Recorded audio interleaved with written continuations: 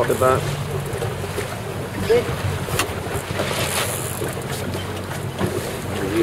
Jag gillar det. Nästan så att han var ännu långsammare faktiskt.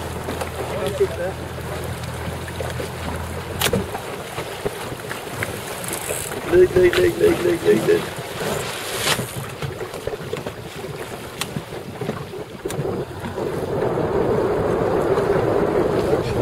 bra, så blir utgangen fra automatisk nesten. Ja, ja. Slaget her igjen nå. Kommer ned der.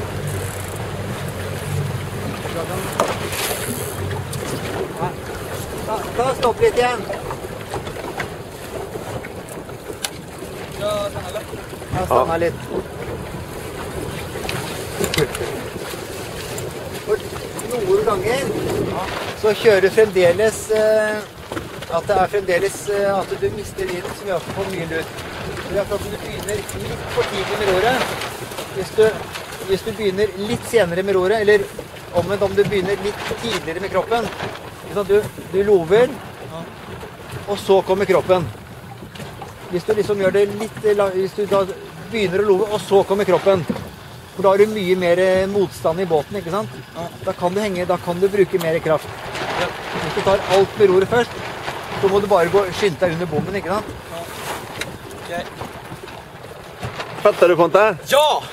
Ja. Vi får se da, om du fatter det eller ikke. Ja. ska börja med